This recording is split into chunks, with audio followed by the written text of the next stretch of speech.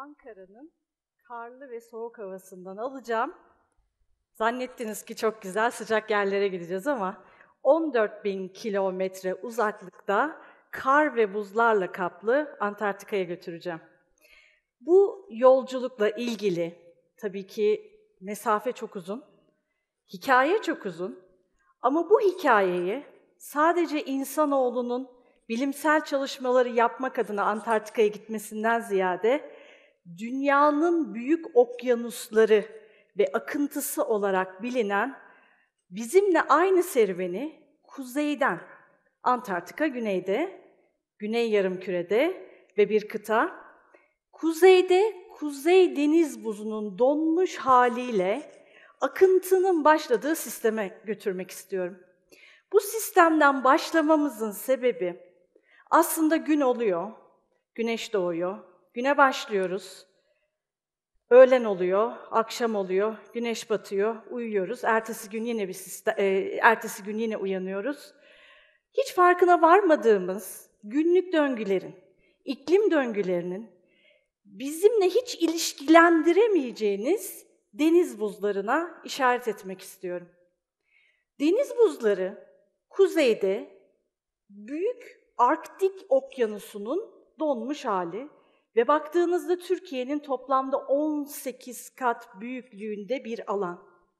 Bu alanda görselde de gördüğünüz gibi kuzeye doğru sıcak ve yüzeydeki okyanusun suyu kuzeyde maviye dönüp soğuyor ve derinleşiyor. Bunun sebebi aslında bu kuzeydeki okyanusun donmuş hali deniz buzları.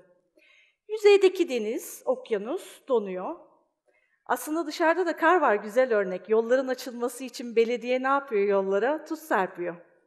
Şimdi bu soğuk havayla donan Arktik okyanusu donduğu anda bünyesindeki tuzu salın, saldıktan sonra ağırlaşarak bu ağır yükle beraber güneye doğru seyrini yapıyor.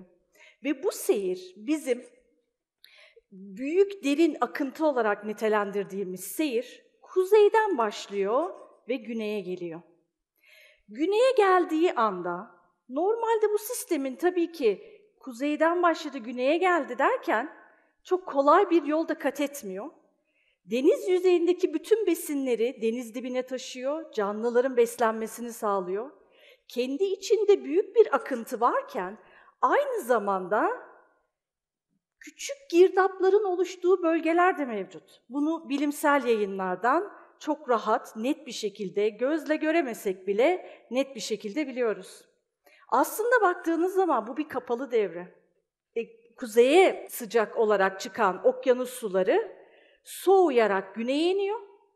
Güneydeki Antarktika'nın etrafındaki Güney Okyanusu'nun yine soğukluğuyla ve tuzluğuyla besleniyor ve bu tuzlulukla beraber ekvatora geldikten sonra ısınarak kuzeye çıkıyor. Kapalı bir devre. Okyanusların aslında bu büyük akıntıdaki veya insan oğluna olan etkisi iklim sistemini stabilize etmesi. Okyanuslar aslında baktığınızda yüzde elli karbondioksiti bünyesinde barındırır. Aynı zamanda dünya yüzeyindeki ısının da yüzde yetmiş beşini barındırır. Bu sebeple soğuk atmosferin okyanus akıntısı devam ederken atmosfere verdiği ısıyla aslında bizim iklimlerimiz oluşur. Bu sayede, bu okyanus akıntısı sayesinde biz yazı, kışı, mevsimleri, sonbaharı, ilkbaharı yaşarız. Ama son dönemlerde özellikle yapılmış bilimsel yayınlarda biz bu sistemin yavaşladığını görüyoruz. Bu yavaşlama sebebinde de aslında buzların tanımı devreye giriyor. Buzlar eriyor. Evet, haberlerde, televizyonlarda, yayınlarda sürekli duyuyoruz. Hangi buzlar eriyor peki? Kaç buz olabilir ki? Buzlar aslında bizim kuzeyde ve güneyde iki gruba ayırıyoruz. Bir kara üzerinde, kara yapısının üzerinde oluşan buzlar, bir de deniz yüzeyinin üzerinde oluşan buzlar. Deniz yüzeyinin üzerinde oluştu mu? Oluşurken oluşumunu tamamlar ama eridiğinde deniz suyu seviyesini arttırmaz. Karadan oluşmuş buzların erimesiyle dışarıdan girdilerle deniz suyu seviyesi artar. Şimdi deniz buzu ve karasal buzu ikiye ayırdıktan sonra bu deniz suyu seviyesine baktığımızda ve buzların erimesine baktığımızda duyduğumuz kuzeydeki özellikle yaklaşık 3-4 milyon kilometre kare kadar bir deniz buzunun eridiğinden bahsediyoruz. Eğer bu yayınlar bu sistemin, iklim sistemini dengede tutan akıntı sisteminin yavaşladığına yönelik yayınlar varsa, sebebi azalan miktardaki deniz buzları. Deniz buzları donacak ki tuzu bünyesinde barındırmayacak, salınan deniz tuzlarıyla birlikte bu akıntılar bu kapalı devre serüvenini tamamlayacak. Aslında deniz buzu bizim yaşamımızda fark etmesek de çok büyük öneme sahip. Aslında iklimimizin dengesini ortaya koyuyor. Yüzde 75 bu ısıyı akıntılar yukarıdan aşağıya, kuzeyden güneye, güneyden ekvatora, ekvatordan tekrar kuzeye taşırken de bu ısıların soğuk atmosferle dengesini, kurgusunu yapıyor. Baktığımızda sadece bu akıntının yavaşlaması değil, deniz buzunun oluşumuyla beraber ortaya çıkan akıntıların taşıdığı besinlerde de azalmalar oluyor. Bu besinlerde azalmalar yaşandığında mercanlar gibi denizlerde, okyanuslardaki yapıların etkilendiğini görüyoruz. Nasıl etkileniyorlar? Yüzde 90 derecede kayıp alanları oluşuyor, kırmızı alanlar daha az miktarda kayıplara sebebiyet veren e, turuncu alanlar ve daha etkilenmeden başlamamış yeşil alanlarımız var. Ama gördüğünüz gibi okyanusların bu etkilenmesinden kaynaklanan, ister kuzey olsun ister güney olsun, bütün dünyanın etkisi altına aldığı bu değişimden nasibini bütün canlılar alıyor. Tabii ki bu akıntılar bizi kuzeyden güneye Antarktika'ya taşıyor. Antarktika dediğimizde güneye, güney kutbuna iniyoruz ve güney kutbunda dünyanın beşinci kıtası olarak adlandırdığımız Antarktika kıtasına bakıyoruz. Etrafında Güney Okyanusu çevrili, Güney Okyanusu da yine bu akıntı sistemini besleyen sistemin ta kendisi. Buradaki buzlara ne oluyor? Buradaki buzlar da değişip beslenmeyi durdurursa acaba bu akıntı sistemi komple mi durur? Aslında bazı senaryolar var, bilimsel senaryolar var. Kötü senaryolara göre çok da dillendirmek istemediğimiz 2100 yılına kadar deniz buzlarının tamamıyla yok olmasıyla beraber bu sistemin yavaşlamadan ziyade tamamıyla yok olacağı ile ilgili. Ama bilim insanları çalışıyor. Hem kuzeyde hem güneyde bilim insanları özellikle geçmişe ışık tutmak, geçmişteki bilimsel verileri topladıktan sonra günümüzde neler oluyor ve geçmişle günü birleştirdiğimizde gelecekte bizi neler bekliyor ortaya koyuyor. Biz de Türkiye olarak Antarktika'ya 3 senedir seferler düzenliyoruz.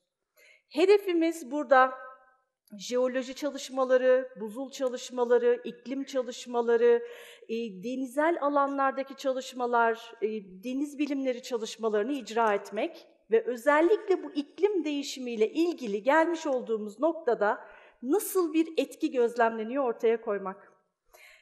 Türk bilim insanlarının yapmaya başladığı ve çalışmaya başladığı Antarktika alanı ile ilgili özellikle ortaya kurulacak veriler çok önemli. İklim değişiminin neresindeyiz? İklim daha önce nasıldı? Bu sadece deniz buzları ve karasal buzlardan da ziyade buzların içinde hapsolmuş karbondioksit miktarına kadar bilim insanları bakabiliyor.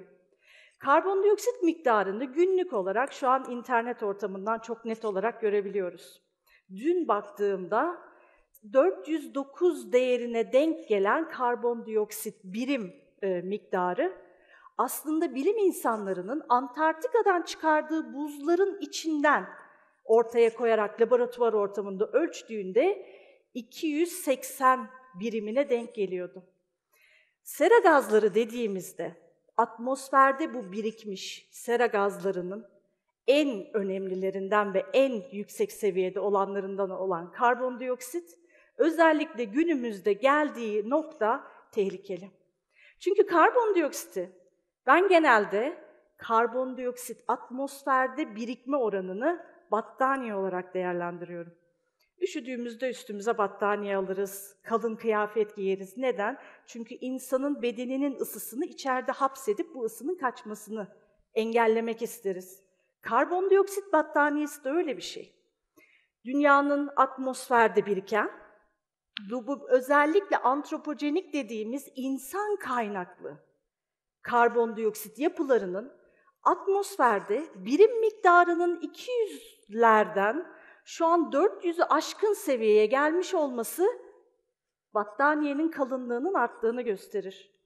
Ve güneşin dünyaya gelen ışınları da gelirken şiddetli ama çıkarken belirli derecede absorbe oluyor ve e, devamında tekrar yansıyıp atmosferden çıkması gerekirken battaniye tabakasına hapsolup yeryüzüyle battaniye arasında sıkışmış bir şekilde yeryüzünün ısısının değişmesine ve artmasına sebep oluyor.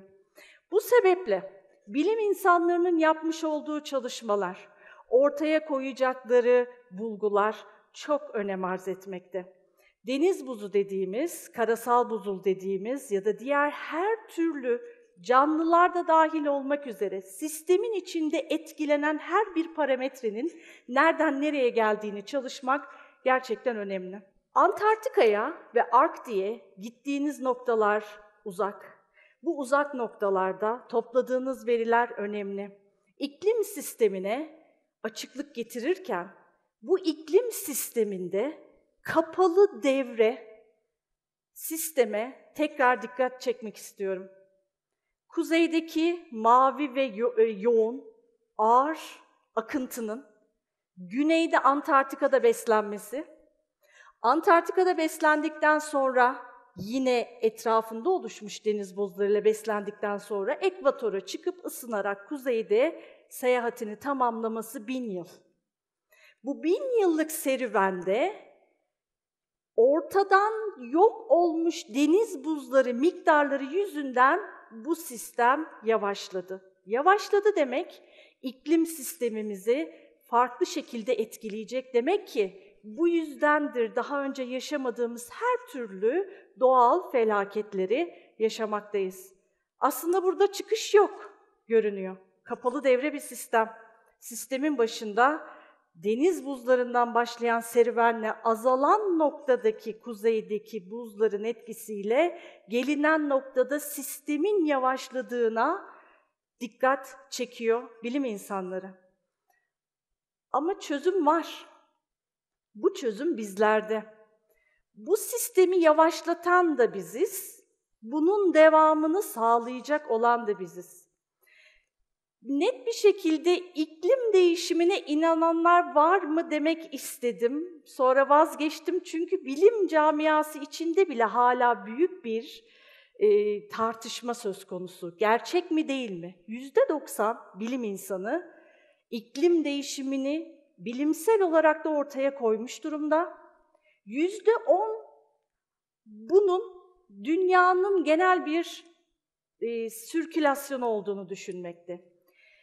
Rakam büyük, inanan bilim insanlarının, ortaya koyan bilim insanlarının rakamları büyük. Ama ister istemez bizlerin de birey olarak özellikle insan kaynaklı gelmiş olduğumuz ve yaratmış olduğumuz iklim değişimiyle ilgili çözümler basit ve çok basit. Yenilenebilir enerjinin, özellikle e, ağaçların, bitkilerin, doğanın dengesinin devam etmesi, enerjinin daha kullanılabilir hale gelmesini sağlamak bizler için önemli. Geri dönüşüm, geri dönüşüm kullandığımız her şeylerin, mümkün olan her şeyin geri dönüşü çok önemli. Aslında çıkış yolu sizsiniz. Aslında çıkış yolu biziz. Gelmiş olduğumuz noktada sistemi geri çevirecek bireyler biziz. Çıkış sizsiniz. Teşekkürler.